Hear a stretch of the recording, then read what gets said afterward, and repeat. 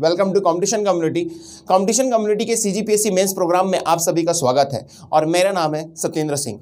आज हम यहाँ पर जो टॉपिक हमने डिस्कशन कम्युनिटी पे ट्वेंटी सेकेंड ऑफ़ फैप को जनरेट किया था, जिसका नाम था फ़िज़िकल डिवीज़न या छत्तीसगढ़ में भौतिक विभाजन, उससे संबंधित कुछ हमने प्रश्न वहाँ पर सात से आठ प्रश्न दिए थे, उसका है यह एनालिसिस वीडियो होगा। इसके पहले मैं एक बात कहना चाहूँगा आप सभी से कि आप सभी आंसर राइटिंग करें, अपने उत्तर लेखन का प्रयास करें, क्योंकि जैसे जैसे आप आंसर राइटिंग करेंगे, आपको और ज़्यादा प्रैक्टिस होती रहेगी और इसके साथ ही साथ आपको उस टॉपिक के साथ ही साथ कुछ शब्दों में बहुत ही अच्छा पकड़ भी बनती जाएगी। तो ये कोशिश और यह मेरी आशा है कि आप यहाँ पर और अधिक से अधिक आंसर राइटिंग करेंगे और इसमें सहभागिता के साथ ही साथ दूसरों के आंसर्स को भी क्या करेंगे इवेल्यूट करेंगे। ठीक? तो कुछ स्टूडेंट्स हैं जिन्होंने काफ़ी अच्छा आंसर लिखा था, मैंने रिव्यू किया और मैंने कुछ को कमेंट करने की कोशिश की थी। सबको कमेंट करना इतना पॉसिबल नहीं हो पाता। तो उनके नाम ऐसे हैं, इंदर सिन्हा आकांक्षा पांडे, आशीष दुबे वेद प्रकाश यादव, रजनी देवांगन, सोनल यादव और मधुलिका डिक्सेना। इतने सारे जो छात्र हैं, इनके आंसर्स आप वहाँ पे डिस्कशन कम्युनिटी में जाएँ, उसे देखें और देखने के पश्चात उसकी तरह या जो भी आपको समझ में आता है, वो ज़रूर लिखें, क्योंकि धीरे धीरे ही क्या होगा, आपको चीज़ें समझ में आएँगी और आप उस लेवल तक पहुँचने में सफल हो जाएँगे। तो चलिए, आज का टॉपिक हम लोग स्टार्ट करते हैं। छत्तीसगढ़ में भौतिक विभाजन। तो देखिए, छत्तीसगढ़ में जो भौतिक विभाजन है, इससे संबंधित मैंने एक क्वेश्चन भी दिया था कि धरातली उच्च वचता के आधार पर छत्तीसगढ़ के भौतिक विभाजन को बताएँ। ठीक? तो पहले ये दो वर्ड को समझते हैं। ज़्यादा डिटेल में हम यहाँ पर नहीं जा सकते। आंसर का स्केलेटन कैसे होगा, हम उन चीज़ों को समझेंगे। ठीक है? क्योंकि इसके बारे में बहुत ज़्यादा जो डिटेल हमने एफटीआर के समय कुछ वीडियोज़ में हमने बताए थे, इसके साथ ही साथ हमने मोबाइल कोर्स में भी इसमें बहुत ही अच्छे तरीके से को समझाया हुआ है। मोबाइल कोर्स जो था वो प्रिलिम्स के लिए ही था, लेकिन वो प्रिलिम्स में भी वो मेंस का फ्लेवर दे रहा है और उसमें काफ़ी ज़्यादा detailing flow charts and connectors के साथ उसको हमने क्या किया? इन बिल्ड किया। छत्तीसगढ़ का आपको मोबाइल कोर्स एंड साथ ही साथ कंप्लीट कोर्स का मोबाइल कोर्स आपको हमारे वेबसाइट पे अवेलेबल है। चलिए तो देखते हैं हम लोग भौतिक विभाजन के बारे में। तो छत्तीसगढ़ को भौतिक विभाजन, यानी कि भौतिक रूप से कितने भागों में बांटा गया, ये सभी को पता है, बेसिक है। चार भागों में, पूर्वी बघेलखंड, जसपुर सामरीपाट महानदी बेसिन, दंडकारण्य का पठार। तो इसका आधार क्या? इसका आधार है समरूप भौतिक विषमताओं के आधार पर, ठीक है? जो भौतिक विशेषताएँ जो होती हैं, ठीक है? जो भौतिक विशेषताएँ होती हैं, ठीक जो भौतिक विशेषताएँ होती हैं, उसमें किस प्रकार से समरूपता है? यानी similarities in geographical features on the basis of that यहाँ पर क्या करना है अपने को? उसके आधार पर हमने यहाँ पे फ़िज़िकल डिवीज़न को डिफाइन किया। यानी कि जो जियोग्राफिकल सिमिलैरिटीज होंगी उस पर बेस्ड क्या होगा? आपका भौतिक विभाजन होगा। और इसमें जियोग्राफिकल क्या फीचर्स की बात करूँ या भौतिक विशेषताओं की मैं बात अगर करूँ तो वहाँ पर बहुत सी चीज़ें आ जाती है। वहाँ की आ, कोई एक इंपॉर्टेंट पिक आ जाएगी। ठीक साथ ही साथ वहाँ पर कैसा पर्वत है, कैसी पठार है, कैसी पहाड़ी है, कैसा पाठ है, वहाँ पे वन कैसा है, ठीक? वहाँ पे वर्षा किस प्रकार से होती है, ठीक है? वहाँ पे खनिज कैसे मिलते हैं? इन सभी को मिलाकर कुछ मुख्य कारण होंगे, कुछ गौड़ कारण होंगे, कोई मेजर रीजन्स होंगे, कुछ माइनर रीजन्स होंगे, उन सबको मिलाकर ही मैंने भौतिक विभाजन किया है, जो चार प्रकार से होगा। पूर्वी बघेलखंड, जसपुर सामरी पाठ महानदी बेसिन और दंडकारण का पठार। तो ये आपको याद रखना है। इसमें डायरेक्टली पूर्वी बघेलखंड भी अपने आप में क्वेश्चन बन सकता है, बोल सकता है क्वेश्चन कि पूर्वी बघेलखंड को एक्सप्लेन करें। तो याद रखेंगे, चार पॉइंट आपको फिंगर टिस्ट में याद रखना है। सारे क्वेश्चंस को, इस टॉपिक से रिलेटेड सारे क्वेश्चन को डील करने के लिए। पूर्वी बघेलखंड के बारे में, उसका एरिया कितना two one eight six three percentage बता दीजिए sixteen point one six district total चार डिस्ट्रिक्ट पे। और यहाँ पर किस प्रकार की रॉक्स या मिनरल्स मिलती हैं? ये आपको पता होना चाहिए। ठीक? साथ ही साथ अगर मैं बात करूँ जसपुर सांवरी पार्ट का तो सेम डाटा आपको याद होना चाहिए। महानदी बेसिन पे याद होना चाहिए दंड कारण के पठार में याद होना चाहिए। क्योंकि अगर क्वेश्चन पूछा explain eastern Baghelkhand extent Mahanadi basin explain Dandakaranya plate you तो आप वहाँ पर इनको लिखें स्टार्टिंग में। ठीक? चलिए, उसके बाद बात करते हैं इनके सब डिवीज़न की। याद रखेंगे क्वेश्चंस कभी कभी पूछ देता है कि छत्तीसगढ़ के प्राकृतिक विभाजन से क्या समझते हैं, भौतिक विभाजन से क्या समझते हैं फ़िज़िकल डिवीज़न से क्या समझते हैं, ऐसे क्वेश्चन पूछ सकता है। बट उसके बाद एक और क्वेश्चन बनता है कि पूर्वी बघेलखंड पूर्वी बघेलखंड के प्राकृतिक प्रदेश, यानी कि नेचुरल रीजन या इसे ही प्राकृतिक उप विभाजन, या इसे ही नेचुरल या फ़िज़िकल सब डिवीज़न भी कहा जाता है। तो याद रखेंगे कि पूर्वी बघेलखंड को और कितने भागों में बांटा गया है, उसके बारे में चर्चा यहाँ पर करेंगे। इसमें आज जो मैंने questions twenty second of Feb को दिया था, उसमें मैंने सब डिवीज़न से बहुत सारे क्वेश्चंस दिए थे, उसमें मैंने ये वाले पार्ट से क्वेश्चन नहीं दिए थे। ठीक? क्योंकि मुझे पता है कि यह सारी चीज़ें आपको क्या है? क्लियर है। तो ईस्टर्न बगलखंड के कुछ पार्ट से हमने क्वेश्चन दिए। जसपुर सावरी पार्ट का एक मैंने सब डिवीज़न ले लिया था। महानदी बेसिन का मैंने एक सब डिवीज़न ले लिया था। दंडकारण्य के पठार का एक सब डिवीज़न ले लिया, ताकि आपके सारे टॉपिक कवर हो जाए। इसी के साथ ही, ठीक? अब यहाँ पर मैंने धरातली विषमताओं के आधार पर बात किया। तो धरातली विषमता मतलब सीधी सी बात है, वहाँ का जियोलॉजिकल स्ट्रक्चर कैसा है, ठीक? साथ ही साथ वहाँ की जो फिजियोग्राफी वो कैसी? सिर्फ़ ये दो रीजंस पे हम यहाँ पे धरातली विषमताओं के आधार पर ही बांटते हैं। जैसे कि हमारे यहाँ है पहाड़ी क्षेत्र मैदानी क्षेत्र, पठारी क्षेत्र एंड पाट क्षेत्र। ये चार चीज़ें डिफाइन करनी है और इन चारों से, मान लो इसमें कोई पाठ है, पहाड़ है, मैदान है, उसको निकाल के आपको यहाँ लिख देना है। पाट प्रदेश है, उसको यहाँ पे लिख देना है। महानदी बेसिन वाले एरिया में अगर कोई पहाड़ी मैदानी है तो उसको इस तरह से सभी में क्या कर देना है? बाइफर्केट कर देना है। चीज़ वही है क्वेश्चन अलग पूछ सकते हैं। पहला क्वेश्चन पूछेगा, समरूप भौतिक विशेषताओं के आधार पर, दूसरा बोलेगा धरातली विषमताओं के आधार पर। करेक्ट होती बात यहाँ तक? चलिए इसके साथ ही हम अभी पहला क्वेश्चन देखते हैं। पहला क्वेश्चन है आपका हेत घाट पर टिप्पणी करें। किस पे बोल रहा है? हेत घाट पर टिप्पणी करें। इसका आंसर राइटिंग करने का प्रयास बहुत ही कम लोगों ने किया था। एक या दो लोगों ने इसके आंसर राइटिंग की थी। ठीक है? चलिए, हेत घाट के बारे में हम लोग कुछ समझते हैं। हेत घाट। कितने मार्क्स का है? यह है टू मार्क्स का एंड थर्टी वर्ड्स का। ठीक? तो पॉइंट इज़ दैट कि thirty words and two marks यानी कि कितने लाइन से मेरे पास? केवल केवल तीन लाइन तो सबसे पहले तो याद रखेंगे, इस चैप्टर से संबंधित अगर कोई भी आप क्वेश्चन लिख रहे हैं, उसमें उसको डिफाइन करें कि वो बिलोंग कहाँ से कर रहा है। ठीक? दूसरा उसमें पॉइंट आउट करें कि उसका लोकेशन क्या है।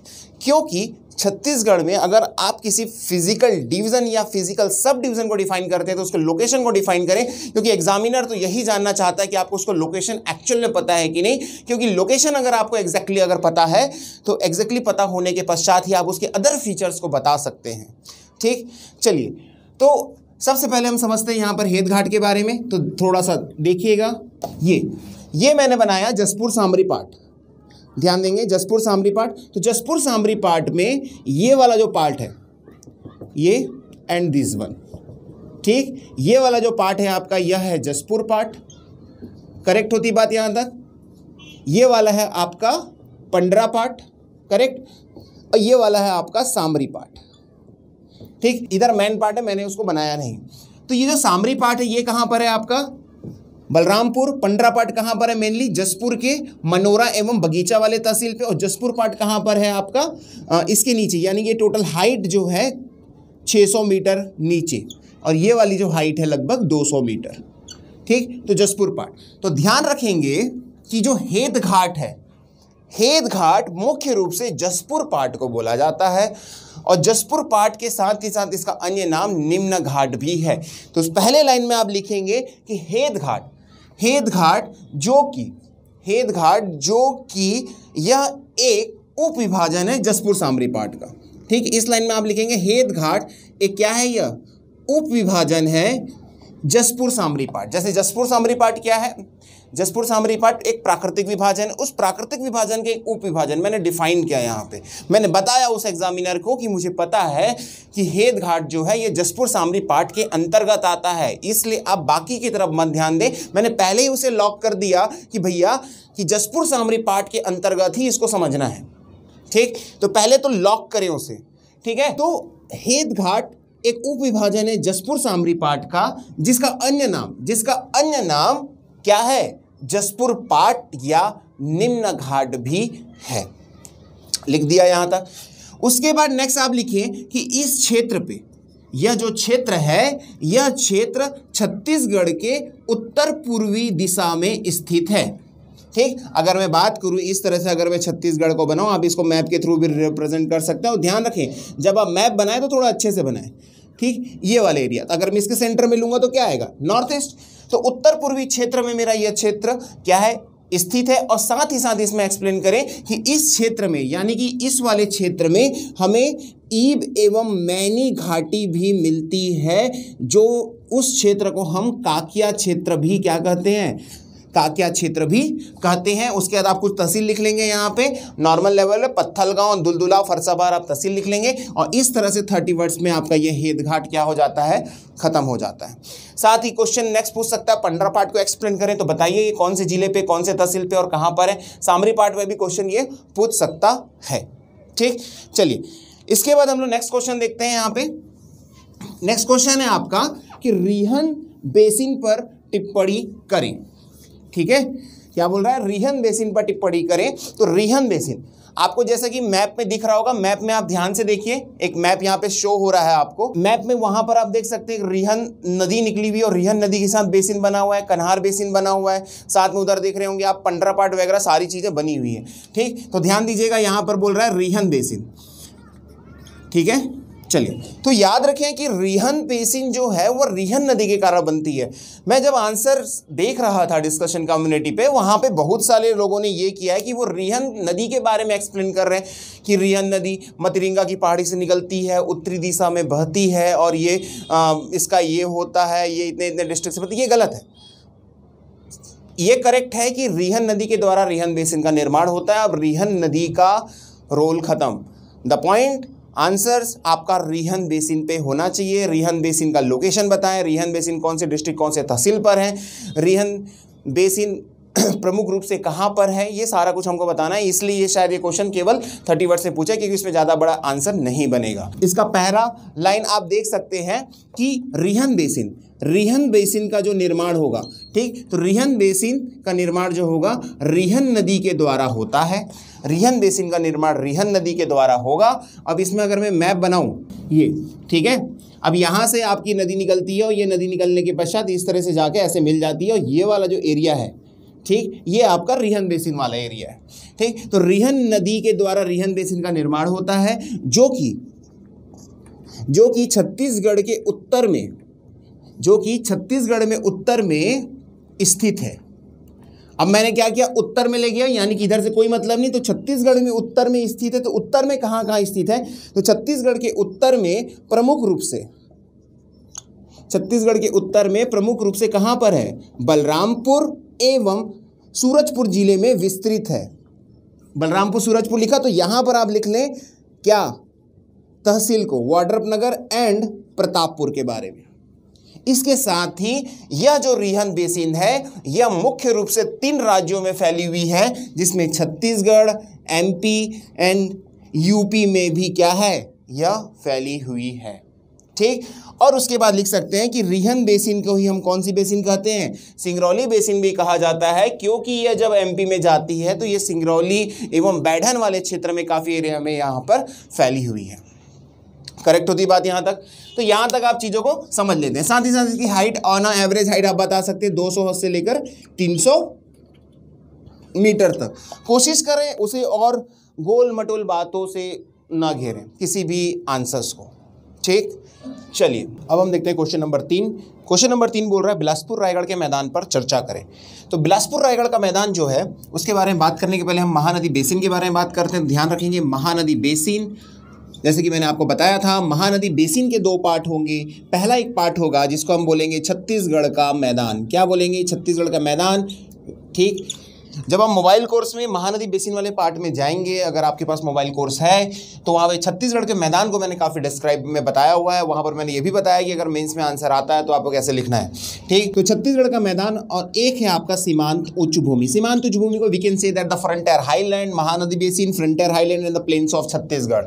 ठीक, अब ये छत्तीसगढ़ के मैदान का हम यहाँ पर क्या करते हैं? दो भाग में बाटे बाइफरकेट करते हैं। पहला भाग जो होगा, उसको मैं बोलूँगा Bilaspur, Raigarh plain and second part होगा आपका दुर्ग रायपुर प्लेन यहाँ पर ये क्वेश्चन दुर्ग रायपुर प्लेन नहीं पूछा है, यहाँ पर क्वेश्चन पूछा बिलासपुर, रायगढ़ का प्लेन और ये क्वेश्चन जो है वह सिक्सटी वर्ड्स के हिसाब से है, लेकिन मैंने यहाँ पे क्वेश्चन थर्टी वर्ड्स में पूछा है ताकि आप इसको सिंक्रोनाइज कर सकें। तो ये होगा आपका बिलासपुर रायगढ़ प्लेन तो समझते हैं, ये मैंने यहाँ पे महानदी बेसिन बनाया, महानदी बेसिन है, ठीक? महानदी बेसिन है मैंने छत्तीसगढ़ का मैंने बनाया, ये फ्रंटियर हाईलैंड है, और यहाँ पे मैंने ये पार्ट बनाया। तो ये वाला जो भाग है, ये है आपका बिलासपुर रायगढ़ प्लेन और ये है आपका दुर्ग रायपुर प्लेन करेक्ट तो ये जो दुर्ग रायपुर प्लेन और बिलासपुर रायगढ़ प्लेन है, इसको हमको बाइफरकेट करना है। तो ध्यान रखेंगे, इसको मैं तीन भागों में बाइफरकेट कर लेता हूँ। पहला एक आ जाएगा बिलासपुर प्लेन ठीक? दूसरा मैंने ले लिया कोरबा प्लेन, ठीक? और तीसरा मैंने ले लिया रायगढ़ प्लेन। करेक्ट? तो बिलासपुर रायगढ़ के मैदान को याद रखें। बिलासपुर रायगढ़ प्लेन, ये सिंगल प्लेन नहीं है। Is the combination of Bilaspur plain, Korba plain एवं रायगढ़ प्लेन, ठीक? अगर नदियों के हिसाब से बात करें तो बिलासपुर प्लेन जो है वह मनियारी और लीलागर के मध्य के प्लेन को बोलेंगे। तो प्रमुख नदी बिलासपुर प्लेन की हो जाएगी अरपा। कोरबा का पठार जो है, इसकी प्रमुख नदी हो जाएगी हसदेव। और रायगढ़ प्लेन की अगर मैं बात करूँ तो यह एक तरफ़ हसदेव नदी से और दूसरी तरफ़ केलो नदी से घिरी हुई है और इसकी प्रमुख नदी जो इसके मध्य से होकर बहती है, वह है आपकी मांड नदी। तो इस तरीके से मैंने बिलासपुर रायगढ़ प्लेन को तीन भागों में, बिलासपुर प्लेन, कोरबा प्लेन और रायगढ़ प्लेन में बाइफर्केट किया। तो इसको लिखेंगे कैसे? तो सबसे पहले लिखेंगे बिलासपुर रायगढ़ प्लेन छत्तीसगढ़ मैदान का। ठीक? बिलासपुर रायगढ़ प्लेन छत्तीसगढ़ मैदान का एक भाग है। जो प्रमुख रूप से बिलासपुर जांगीर चांपा, रायगढ़ एवं कोरबा ज़िले में विस्तृत है। पहला हमने उसको डिसाइड किया कि इस लोकेशन में ये क्या है, यहाँ पर है। तो पहले तो बताना है कि इस लोकेशन में भैया जो आपने एग्जामिनर साहब, आपने जो क्वेश्चन दिया है वो यहाँ पर हमने बता दिया। अब बताने के पश्चात हमें देखना है कि ये बिलासपुर, जांजगीर, ये सारा कुछ जो है, यानी कि बिलासपुर, रायगढ़ प्लेन जो है, यहाँ से कौन कौन सी नदियाँ बहती है? तो अब बताइए, ये ये नदियाँ बहती है। और इन नदियों के द्वारा इस इस प्लेन का क्या होता है? निर्माण होता है। तो पहले मैंने लोकेशन बताया लोकेशन के बाद मैंने डिस्ट्रिक्ट बताई और डिस्ट्रिक्ट के बाद मैंने बता दिया ये ये चीज़ें होती हैं। अब मान लो ये सिक्सटी वर्ड में क्वेश्चन पूछता तो एक्सप्लेन कर दो बिलासपुर प्लेन को एक्सप्लेन कर दो कोरबा प्लेन को एक्सप्लेन कर दो रायगढ़ प्लेन को। तो ये सिक्सटी वर्ड भी बन सकता है और इसके बाद ये हंड्रेड वर्ड्स भी बन सकता है। तो ध्यान दे, साथ ही आप बता सकते हैं यहाँ प्रमुख रूप से कड़प्पा चट्टाने हैं, प्रमुख रूप से लाल पीली मिट्टी है और साथ ही साथ यहाँ पर सिंचाई की सुविधा अधिक होने के कारण जो जांजियर यानी कि जो मेरा जांजगीर वाला क्षेत्र है, वह धान की पैदावार में सबसे ज़्यादा है।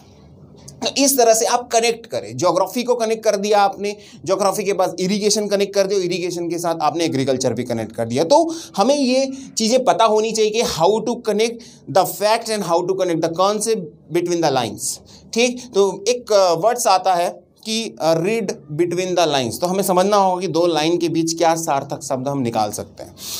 नेक्स्ट क्वेश्चन देखते हैं। छत्तीसगढ़ के प्रमुख जल विभाजकों के बारे में चर्चा करें। तो सबसे पहले हम बात करते हैं कि जल विभाजक क्या होते हैं, यानी कि वाटर सेपरेटर के बारे में यह बात करने की बात कर रहा है। तो वाटर सेपरेटर वाला जो क्वेश्चन है, ये भी आपका two marks and thirty words का है। ठीक है? तो टू मार्क्स थर्टी वर्ड्स का यह क्वेश्चन है। तो सबसे पहले आपको ध्यान रखना होगा, ऐसी प्राकृतिक संरचना, पहला लाइन में आप लिखेंगे, ऐसी प्राकृतिक संरचना, जैसे पर्वत, पठार, पहाड़, जो दो जल क्षेत्र, दो जल क्षेत्र या अन्य दो अपवाह तंत्रों को विभाजित करता है। ठीक? ऐसी प्राकृतिक संरचना जैसे पर्वत, पठार, पाट, पहाड़। दो जल क्षेत्र या दो अपवाह तंत्रों को विभाजित करता है वाटर सेपरेटर या जल विभाजक कहलाता है।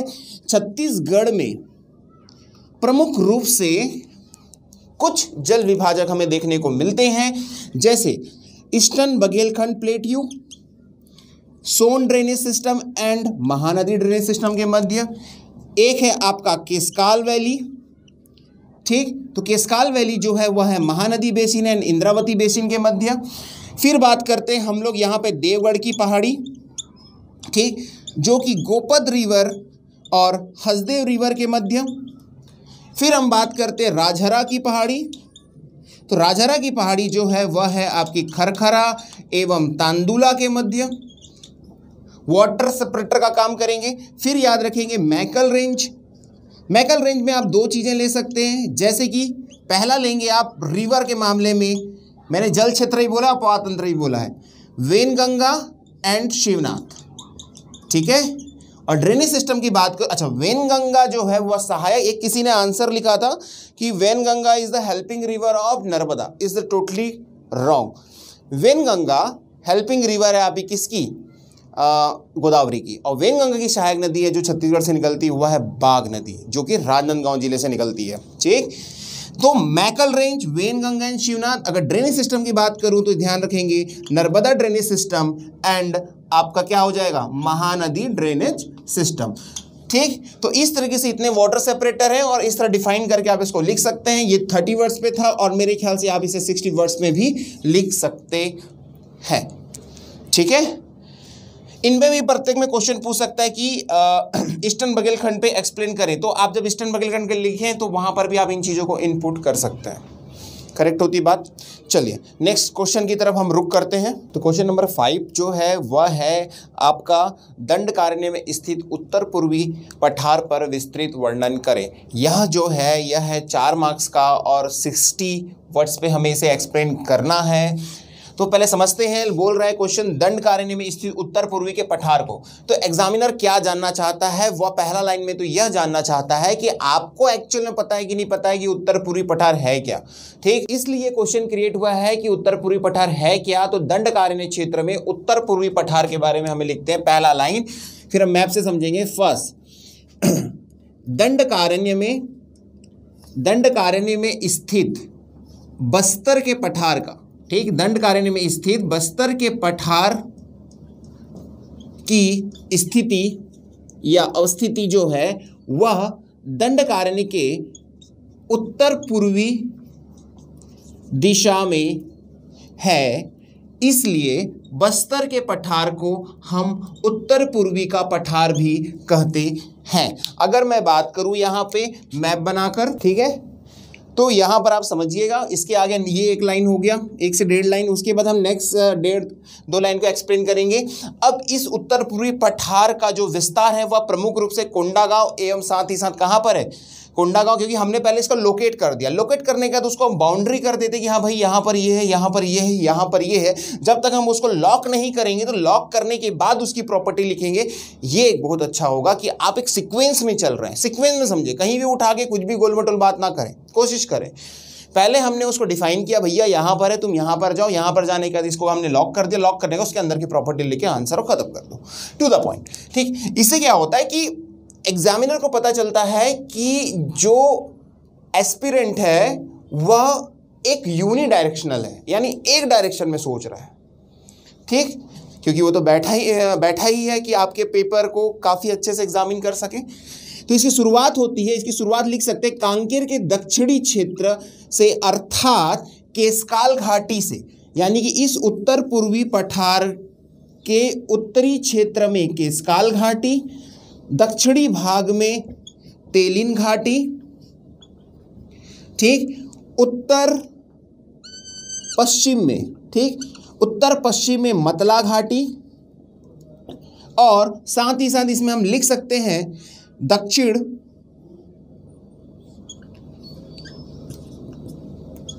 दक्षिण पश्चिम में टंगरी डोंगरी की पहाड़ी या इसे ही बोला जाएगा बस्ता नार घाटी। ठीक? बस्तरनार घाटी अवस्थित है। तो इस तरीके से हम लोगों ने पूर्वी, पहले हमने क्या बोला? केसकाल घाटी, दूसरा हमने बोला तेलिन घाटी, फिर मतला घाटी, फिर टंगरी डोंगरी या बस्तर, बस्तानार घाटी अवस्थित है। तो इस तरह से हमने इसको डिफाइन कर दिया। डिफाइन करने के बाद ये दो लाइन आपकी खत्म हो जाती, फिर से दो लाइन आपके पास बसती है। तो इस दो लाइन में आप एक्सप्लेन करें कि इस उत्तर पूर्वी का जो पठार है यह प्रमुख रूप से ग्रेनाइट एवं निस की चट्टानों से निर्मित है। यहाँ पर काफ़ी ज़्यादा क्या बनी हुई है, कगारें बनी हुई हैं, जिस पर से होकर बहुत सी प्रमुख नदियाँ बहती हैं, तथा यहीं पर हमें इसी पे जगदलपुर के पास हमें इंद्रावती नदी इसी उत्तर पूर्वी के पठार को दो भागों में चिरते हुए आगे बहती है।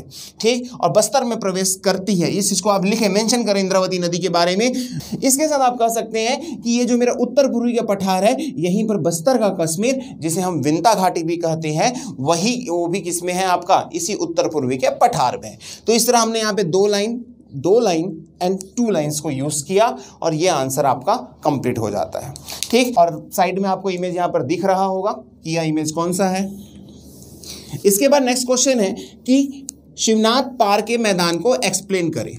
ठीक? तो ये भी क्या आपके फोर मार्क्स सिक्सटी वर्ड पे शिवनाथ पार के मैदान को एक्सप्लेन करें। फोर मार्क्स सिक्सटी वर्ड तो ध्यान देंगे, आपको मैप में दिख रहा होगा। मैप में जो ब्लू वाला आपको दिख रहा है मैकल रेंज में, आप जरा देखिए, वो वहीं पर रहेगा। तो उसी तरह से हम यहाँ पे ड्रॉ तो नहीं करेंगे, लेकिन हम उसे थोड़ा सा एक्सप्लेन करने की कोशिश करते हैं।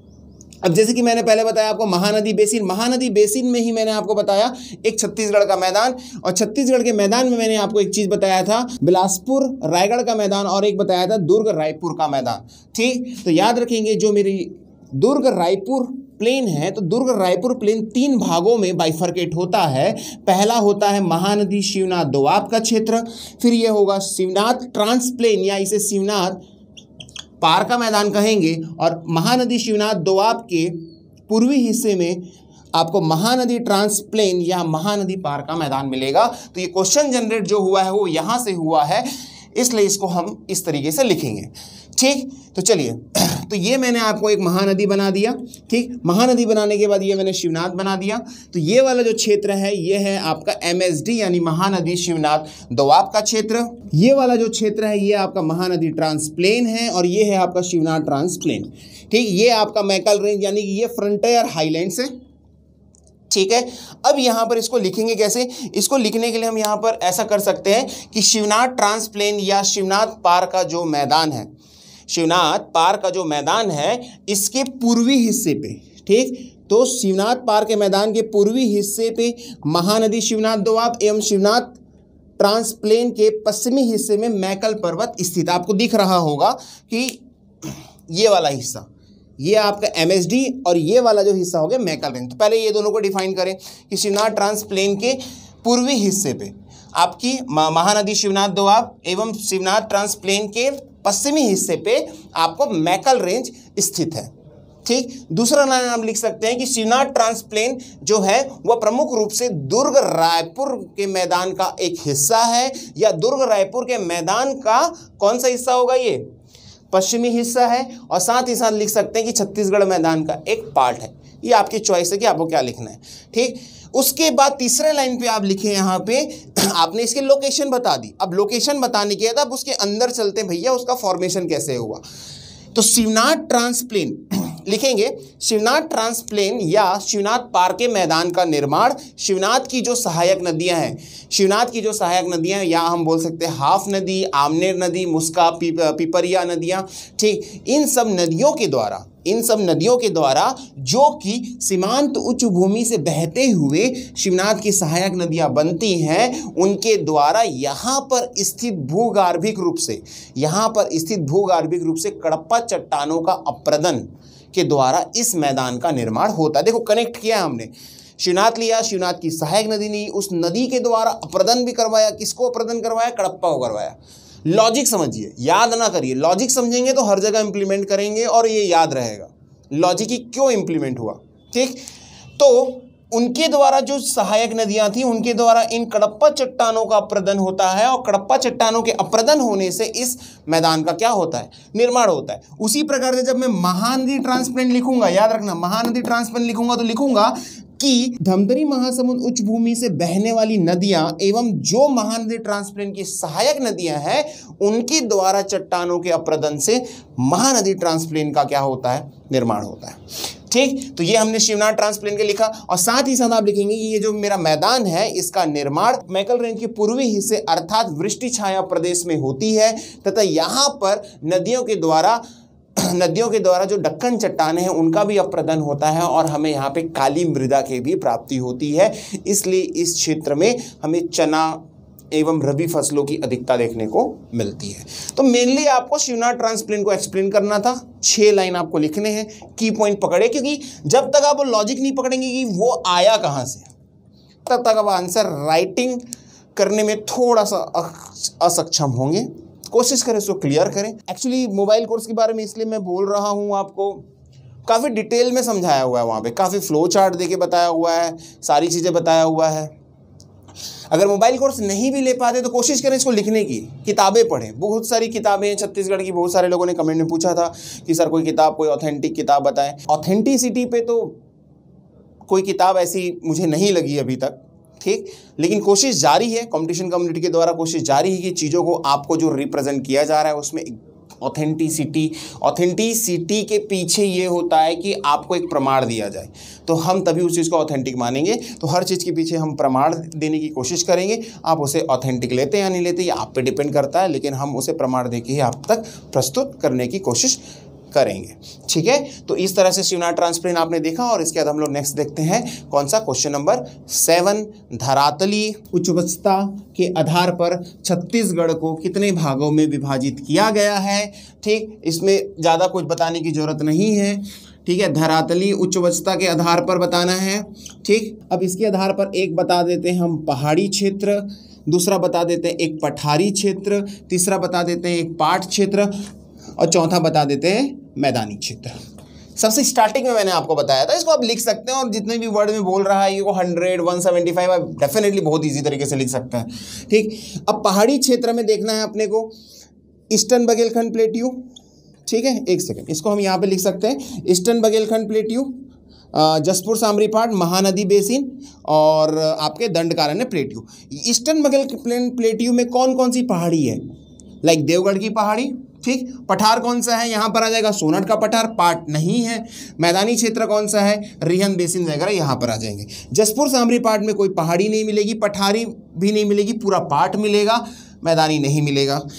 महानदी बेसिन में आप ले सकते हैं, फ्रंटियर हाईलैंड्स में यहाँ पर आ जाएगा, पठारी क्षेत्र में, ठीक? मैदानी क्षेत्र में पूरा आ जाएगा, वहाँ पर पाट नहीं मिलेगा और पठार भी आपको नहीं मिलेगा, ठीक? दंडकारण्य प्लेट्यू को जब आप लिखेंगे तो दंडकारण्य प्लेट्यू में आपको बस्तर का पठार, बिल्कुल यहाँ पे बस्तर का पठार मिलेगा, मैदानी क्षेत्र में आपको बस्तर इंद्र, बस्तर सबरी का मैदान आपको मिल जाएगा पार्ट नहीं मिलेगा। एंड कुछ पहाड़ियाँ मिलेगी वॉट एवर बैलाडीला की पहाड़ी, रावघाट की पहाड़ी, ये सारी, या बुजमाड़ की पहाड़ी। तो इस तरीके से यहीं से निकाल के इनको शो नहीं करना है आपको, इन्हीं से उन चीज़ों को निकाल के बाइफरगेट करके लिखना अब पहाड़ी क्षेत्र की बात करेगा तो ये सारी पहाड़ी क्षेत्र, पठारी बोलेगा तो ये सारे पठारी पार्ट बोलेगा तो ये केवल यहीं पर और मैदानी बोलेगा तो ये। ठीक है दोस्तों? तो इस तरीके से आप इन चीज़ों को क्या कर सकते हैं? आंसर राइटिंग कर सकते हैं। हार्डली फोर्टी फोर्टी वर्ड्स पे भी अगर लिखेंगे तो भी वन ट्वेंटी होता है। फिफ्टी फिफ्टी भी लिखेंगे तो भी वन टू हंड्रेड वर्ड्स तक आप पहुँच सकते हैं। तो डेफिनेटली इसको आप अच्छे से कर सकते हैं। तो गाइज़ नेक्स्ट क्वेश्चन देखते हैं। नेक्स्ट क्वेश्चन जो है, वह है आपका फिफ्टीन मार्क्स का वन सेवेंटी फाइव का। क्वेश्चन है कि छत्तीसगढ़ का भूगोल या छत्तीसगढ़ की जो भू स्थलाकृतियाँ हैं, यहाँ के इतिहास को किस प्रकार से प्रभावित करती हैं? अब ये जो क्वेश्चन हैं इस क्वेश्चंस को आ, लिखने के कई तरीके हो सकते हैं। या तो आप पैराग्राफ में लिखें या तो आप पॉइंट फॉर्मेट में लिखें। तो ध्यान दीजिएगा ये क्वेश्चन में दो चीज़ें पूछा है। एक तो यहाँ के भू स्थलाकृतियों का इम्पोर्टेंस और प्लस यहाँ के इतिहास के बारे में यहाँ की संस्कृति के बारे में। तो याद रखेंगे कभी भी जब इतिहास पढ़ा जाता है उसके पहले वहाँ की जोग्राफ़ी के बारे में हमको नॉलेज होना चाहिए। आप भी कहीं भी पढ़ते हो या खुद से पढ़ते हो तो पहले इतिहास के पहले वहाँ जोग्राफी पढ़ाया जाता है। तो चलिए बात करते हैं। तो भू स्थलाकृतियों के बारे में आपको पता है और यहाँ के इतिहासकारों के बारे में या इतिहास के बारे में आपको पता है। बस इन दोनों के मध्य संबंध स्थापित हमें करना है। तो इसमें पहले कुल ये 150 175 वर्ड का तो हम मान लेते हैं इसमें 17 से 18 लाइन्स होंगी। तो हम दिमाग में रखते हैं कितने डायमेंशंस को इसमें टच करने वाले हैं। याद रखिएगा कि जो भी अगर आप पैराग्राफ में लिखते हैं, ध्यान रखिए, पहला पैराग्राफ कैसे बैलेंस आंसर लिखा जाता है, कैसे उसे प्रमाणित किया रहेंगे और बैलेंस कैसे करेंगे, संतुलन कैसे बनाएँगे, इन दोनों में इसकी बात कर रहा हूँ। अगर आप पैराग्राफ में लिखते हैं तो डेफिनेटली याद रखें थर्टी थर्टी वर्ड्स के पैराग्राफ बना सकते हैं आप, जिसमें पाँच पैराग्राफ बनेंगे या तीन पैराग्राफ बनेंगे। तो हर पैराग्राफ में एक पार्ट आपका भूगोल से संबंधित और एक पार्ट आपका इतिहास होना चाहिए। ठीक? अगर आप पॉइंट वाइज लिखते हैं तो point number one point number two point number three point number four and point number five तो मुझे ये लगता है कि दो से ढाई लाइन लाइक तीन तीन लाइन आप इसमें इनपुट कर सकते हैं। ठीक तीन लाइन हो सकता है कोई दो लाइन हो सकता है और इनमें जहाँ जहाँ पर इनपुट करें तो कुछ भाग भूगोल को दिखना चाहिए, और कुछ भाग आपका क्या दिखना चाहिए? वहाँ का इतिहास दिखना चाहिए, यानी कि भूगोल के कारण इम्पैक्ट हुआ, वो दिखना चाहिए। तो इस तरह से आप इसको पहले सोचे, विचारे। कभी भी जब बड़े वर्ड्स एंड बड़े मार्क्स के क्वेश्चंस आते हैं, उन्हें आप एक फ्लो डायग्राम बनाएँ पाँच मिनट सोचें और पाँच मिनट सोचने के बाद दस मिनट में लिखें, कोशिश ये करिएगा, ठीक? तो पहले आप इसके इंट्रोडक्शन में लिखेंगे इंट्रोडक्शन में ये लिखेंगे कि किसी भी क्षेत्र की जो भू स्थलाकृतियाँ होती है, वह वहाँ के इतिहास एवं साथ ही साथ वहाँ की संस्कृति के मध्य संबंध स्थापित करते हैं। छत्तीसगढ़ का या छत्तीसगढ़ की भी जो भू स्थलाकृति है, वह यहाँ के इतिहास को विभिन्न पक्षों पे, विभिन्न पक्षों में प्राचीन काल से लेकर आधुनिक काल तक क्या करती है? प्रभावित करती है जैसे कि पहला, ये हमने इंट्रो दे दिया, उसके बाद पहले पॉइंट में आएँगे। पहले पॉइंट में आप लिखेंगे कि छत्तीसगढ़ की अवस्थिति के बारे में, ठीक? तो छत्तीसगढ़ की अवस्थिति मध्य भारत में होने के कारण जितने भी केंद्रीय राजवंशों के जो विजयी अभियान हुए, चाहे समुद्रगुप्त का दक्षिण दक्षिणापथ अभियान हो, पुलकेशिन द्विती का उत्तरापथ अभियान हो, ठीक? चाहे मराठों का पूर्वी अभियान हो, चाहे मेघवंश का, क्या हो? आपका पश्चिम अभियान हो। इन सबके कारण, इन सबके कारण छत्तीसगढ़ मध्य में होने के कारण यह प्रभावित हुआ तथा यहाँ पर जो प्राचीन काल में जो सामंत थे या जिन लोगों ने उन राजाओं को क्या की, सहायता पहुँचाई, उनके अंदर एक उत्साहवर्धन हुआ और यहाँ पर रीजनल डायनेस्टी रीजनल डायनेस्टी या स्थानीय राजवंशों के उदय होने का भी एक प्रमुख कारण होता है। तो ये जो एक्सप्लेनेशन दिया मैंने, ये अपने आप में क्वेश्चन हो सकता है हिस्ट्री पे कि छत्तीसगढ़ में स्थानीय राजवंशों के उदय होने के क्या कारण? उसका एक पक्ष ये है, इसका भौगोलिक कारण। करेक्ट चलिए, दूसरे पॉइंट में चलते हैं। दूसरे पॉइंट में देखिएगा कि छत्तीसगढ़ का पहले अवस्थिति बता दिया दूसरा बात कर देंगे कि छत्तीसगढ़ का जो बहुत आयात क्षेत्र है, छत्तीसगढ़ का जो बहुत आयात क्षेत्र है, वह पहाड़ एवं पर्वत एवं पठारों से घिरा हुआ है। तो जब कलचुरियों ने यहाँ पर आए। याद रखेंगे, दूसरा पॉइंट बता रहा हूँ। जब कलचुरीज यहाँ पर आते हैं तो कलचुरियों को गुरिल्ला युद्ध में किसी प्रकार की एक्सपर्टनेस या किसी प्रकार को उनको प्रैक्टिस नहीं थी। और कलचुरियों के द्वारा, कलचुरियों के द्वारा जब इन क्षेत्रों को जीतने की इच्छा प्रकट की गई तो उन्होंने यह समाधान निकाला कि यहाँ पर क्षेत्र विशेष के क्षेत्र विशेष के कुछ प्रमुख लोगों से सहायता ली जाए और उन्हें एज अ सामंत बनाया जाए। और धीरे धीरे यही सामंती व्यवस्था यहाँ पे जमींदारी व्यवस्था में बदलती है और जमींदारी व्यवस्था होने के बाद हम देखते हैं कि लगभग लगभग चौदह प्रिंसली स्टेट या देसी रियासत हमें छत्तीसगढ़ में दिखते हैं। 1905 के बाद ये चौदह रियासत हमें देखने को मिलते हैं, जिसमें आपको सरगुजा तरफ़ का बस्तर का और मध्य छत्तीसगढ़ की रियासतें होती हैं और जब और जब यहाँ पर हम स्वतंत्रता आंदोलन के बारे में जब चर्चा करते हैं, तब यह देखते हैं कि जिस प्रकार से छत्तीसगढ़ के आसपास के जितने राज्य हैं, वहाँ पे स्वतंत्रता आंदोलन का जो प्रभाव था, वो हमें छत्तीसगढ़ में उतनी इंटेंसिटी के साथ नहीं दिखती। रीज़न ये था क्योंकि छत्तीसगढ़ का या छत्तीसगढ़ की जितनी भूमि थी, उसमें पचहत्तर प्रतिशत जो भूमि थी, वहाँ पे जो अधिकार था, वो जमींदारों का अधिकार था। और जमींदार जो थे या जो प्रिंसली स्टेट जो थी, वह किसकी अंधभक्त थी? ब्रिटिशर्स की। तो यहाँ पर वो आंदोलन की जो इंटेंसिटी होनी चाहिए, वो नहीं पनप पाई। ठीक? तो एक पॉइंट ये हो गया, जिसको मैंने यहाँ पहाड़ पर्वत को लेके बताया। तीसरा मैंने बताया, यहाँ पर वन बाहुल्य क्षेत्र है। पहाड़ पर्वत होने का वन बाहुल्य क्षेत्र है तो बता सकते हैं कि छत्तीसगढ़ एक वन बाहुल्य क्षेत्र होने के कारण यहाँ पर हमें एक आदिवासी संस्कृति, क्या? आदिवासी संस्कृति, ट्राइबल कल्चर के बारे में भी पता चलता है। यहाँ पे घोड़ी गोड़ी और हल्बी भत्री गोड़ी और हल्बी भत्री संस्कृति का भी हमें क्या दिखता है? यहाँ पे प्रभाव दिखता है। साथ ही साथ ये जो आदिवासी लोग हैं या जो अबुजमाड़ जो ट्राइबल बेल्ट है, यह प्रकृति की की पूजा करते हैं और प्रकृति की पूजा के साथ ही साथ ये यहाँ पर इनकी आजीविका भी इसी वन पर आधारित है। अर्थात हम कह सकते हैं कि इस वन बाहुल्य होने के कारण ही आज हम बस्तर का इतिहास को पढ़ते हैं या बस्तर का इतिहास देखते हैं और ब्रिटिशर्स के समय, ब्रिटिशर्स की जब अधिसत्ता यहाँ पर आई थी कब मध्यकाल में सॉरी आपके आधुनिक काल में जब ब्रिटिशर की सत्ता यहाँ पर आती है, उनके द्वारा कुछ कानून बनाए जाते हैं, कुछ कड़े कानून बनाए जाते हैं, चाहे वन सुरक्षा कानून को ले लें, चाहे अन्य कानूनों को ले ले, तब यहाँ पर जन, जनजातियों के द्वारा विरोध किया जाता है और वे हमें यहाँ पे जनजाति विद्रोह के रूप में देखने को मिलता है। ठीक? अब उसके बाद नेक्स्ट आप यहाँ पर लिख सकते हैं कि छत्तीसगढ़ की जो भू स्थलाकृतियाँ हैं छत्तीसगढ़ की जो भू स्थलाकृतियाँ हैं, वो हर प्रकार से, वो हर प्रकार से यहाँ के इतिहास एवं संस्कृति को क्या करती है? प्रभावित करती है। चाहे वो मराठा क्यों ना हो, क्योंकि मराठों का छत्तीसगढ़ की तरफ़ आकर्षित होना एक तरीके से यहाँ के भौगोलिक कारक से संबंध रखता है, क्योंकि यहाँ पे जो चीज़ें थी, यहाँ पे जो उपजाऊ क्षेत्र थे। यहाँ पे नदी बेसिन के कारण जो उपजाऊ क्षेत्र थे, यहाँ पर जो खनिज संपदा थी, जिसके कारण ही मराठा जो बुंदेलखंड होते हुए बंगाल जा सकते थे, वह यहाँ पे छत्तीसगढ़ टन होके चले गए। ठीक?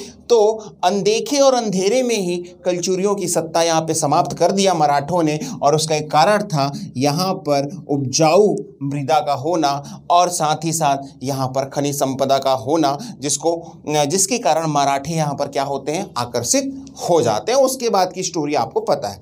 मेनली सारे डायमेंशन और सभी पक्षों को क्या करना है सरफेशियल लेवल पे कनेक्ट करना है। किसी पर्टिकुलर की बात नहीं किया इसने। इसने आपके एनालिसिस की मांग किया कि एक्चुअली में आपने उसको पढ़ने के बाद क्या क्रक्स निकाली? ये नहीं कि आपने उसे याद कर लिया। तो क्वेश्चन को आपको समझना होगा। ठीक? चलिए तो उसके बाद लास्ट में लिखे अतः हम कह सकते हैं कि किसी भी क्षेत्र की भूस्थलाकृतियाँ या छत्तीसगढ़ की भूस्थलाकृतियाँ वहाँ के इतिहास को क्या करती है? बहुत हद तक प्रभावित करती है एवं एक विशिष्टता भी प्रदान करती है। तो इस तरीके से हम लोगों ने ये क्वेश्चन सीरीज़ को देखा और भूगार्भिक संरचना के साथ ही साथ भौतिक विभाजन वाले सारे क्वेश्चन सारे प्रश्नों के संकलन का हम लोगों ने एक एनालिसिस किया। और जितने भी मैंने क्वेश्चन आपको बताए हैं, उस पर भी आप आंसर राइटिंग करें और लिखें। लिखना एक, ठीक है, अगर किसी की प्रिलिम्स नहीं निकल रही है इशू नहीं, आप लिखते जाएँगे अगर आपने डिसाइड कर लिया, आपको पीएससी एग्ज़ाम्स क्लियर करने हैं तो या अभी लिखे, बाद में लिख लिख के प्रैक्टिस करें, काफ़ी अच्छा हो जाएगा। ठीक है दोस्तों? तो फिर मिलते हैं नेक्स्ट वीडियो में। तब तक के लिए धन्यवाद। सी की संपूर्ण तैयारी के लिए कंपटीशन कम्युनिटी के यूट्यूब चैनल को सब्सक्राइब कीजिए और डेली अपडेट्स के लिए बेल आइकन को प्रेस करना ना भूलें।